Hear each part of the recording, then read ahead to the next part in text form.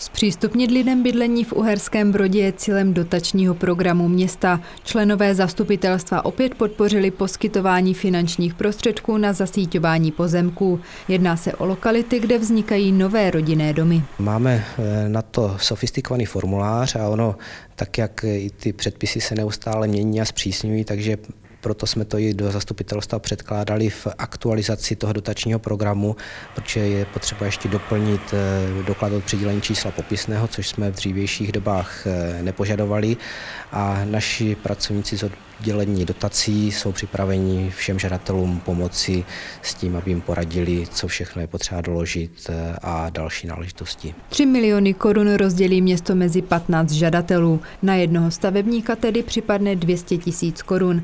Jedná se především o lokality nad zámkem a Nový újezdec. Za posledních 6 let, kdy město tuto dotaci vyplácí, podpořilo už 63 žadatelů z 12,5 miliony korun. Zjistili jsme, že se nám za ty roky přistěhovalo 65 nových lidí z míst mimo Uherský Brod, takže je to opravdu, eh, má to svůj pozitivní efekt a jsme rádi, že se daří i Uherský Brod tady tímto zatraktivňovat a navyšovat počet obyvatel. Pokud bude o dotace ze strany stavebníků vyšší zájem, automaticky se přesouvají do dalšího roku. Žádost lze podat stejně jako v předešlých letech, a to elektronicky nebo v tištěné podobě. Bližší informace budou uveřejněny na webových stránkách města.